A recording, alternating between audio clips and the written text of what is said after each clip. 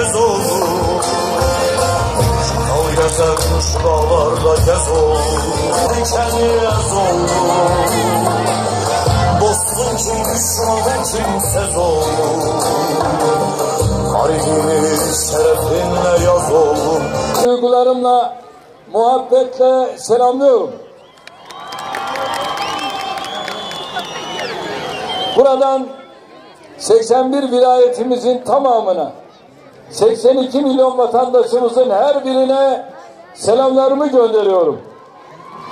Azerbaycan'dan Özbekistan'a, Kafkasya'dan Türkistan'a kadar gönül coğrafyamızın dört bir yanındaki kardeşlerimize, soydaşlarımıza da buradan selam ediyorum.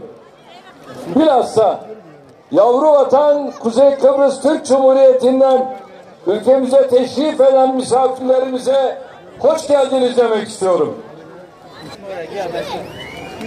Ses kaydı mı? Malazgirt Zaferi'nin 948. seneyi devriyesinin ülkemiz ve milletimiz için kutlu, mübarek olmasını diliyorum. Demiri demirle dövenlerin, Anadolu'yu irfanla, hikmetle, aşkla yoğuranların destanına şahitler karşısında bir yiğidin yattığı bu mübarek topraklarda aziz şehitlerimizin manevi huzurunda bulunmanın heyecanını yaşıyoruz. Az önce ağlat. İnşallah önümüzdeki yıl Cumhurbaşkanlığı külliyesi bitmiş olacak. Ve kılan şehitlerimizin her birine Allah'tan rahmet ve mağfiret niyaz ediyorum. Sultanların şahı, Alperenlerin serdarı, Anadolu'nun fatihi, Malazgirt'in muzaffer komutanı Sultan Alparslan'ı hürmetle yad ediyorum. Dar-ı Beka'ya uğurladığımız Bakan Yardımcımız Profesör Doktor Ahmet Haluk Dursun hocamıza da rahmet diliyorum. Buraya o da kontrole gelmişti. Ve Haluk Dursun Hoca hep burası çok önemli. Ahlatı görmeden tarihi anlayamazsınız derdi. O bir tarihçiydi. Mevla da ondan emanet.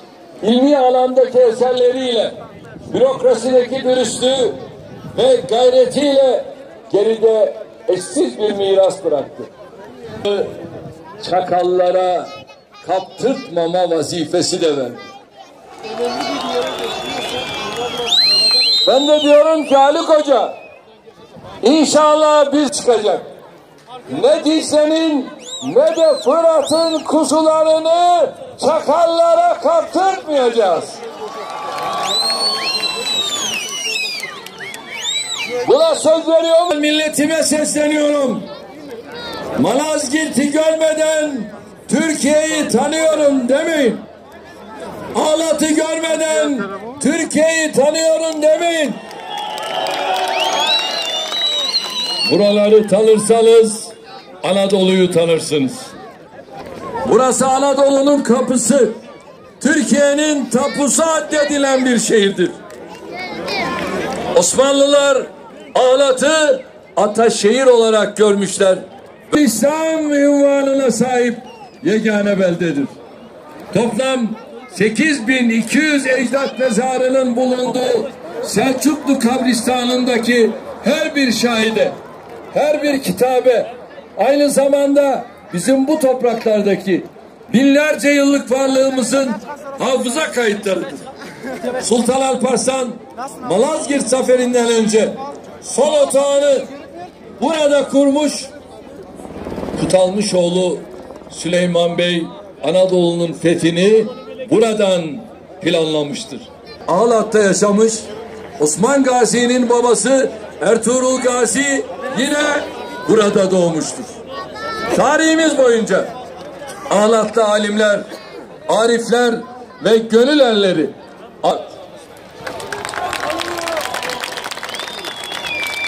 Evet, her köşesinden bir tarihi fışkıran ahlat, işte böyle bir ruhun, böyle bir asaletin, böyle yüce bir manevi ikimin şehridir.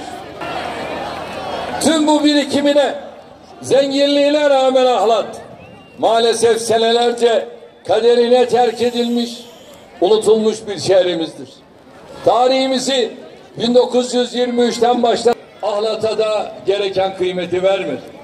Türk milletinin ruh köküyle bağını kesmek isteyenler diğer pek çok değerimiz gibi Ağlat'ı da ihmal etti, görmezden geldi. Çevresinde butik birkaç otel de yapacağız. Tanları ziyarete gelenler inşallah oralarda iskan etme imkanı da bulsunlar. Ağlat'ın Anadolu'nun Orhun abideleri olarak bilinen tarihi eserleri Güneş Burada Ağlat'ın gururu olacak sembol bir eserin inşaatına başladı. Atamız güçlendirecek, yaşatacak, Ağlat'ın sahip olduğu zengin mirasın gençlerimize aktarılmasını sağlayacak faaliyetlere hız vereceğiz. Hedefimiz Anadolu'nun kapısı. Ağlat'ın Türk tarihindeki önemine uygun şekilde tanınması. Sanatla spor, tarihle kültür, mimariyle müzik birbirinin tamamlayıcısıdır. Tarihi şehirlerimize nasıl sahip çıkıyorsak, ecdat mirası atasporlarımıza da aynı hassasiyette sahip çıkacağız. Çünkü güreş, biricilik, cirit, okçuluk gibi okçular kabza sınavında kabiliyetleri yanında ahlak ve karakterleriyle de imtihan edilirlerdi. Pehlivanların ferdi hayatlarında da civan mert olmaları beklenirdi. Atasporlarımızla ilgili bunlar gibi daha pek çok kural, kaide, prensip bulunur. Geleneksel spor dallarımızın ihyası işte bu değerlerin de inşası demektir. Bu sporların yaygınlaşması, kültürümüzle olan bağlarımızın güçlenmesi demektir. Son dönemde farklı bir ivme yakaladı. Yılların ihmalini giderecek, ata sporlarımızı insanımıza tanıtacak birçok projeyi devreye aldık.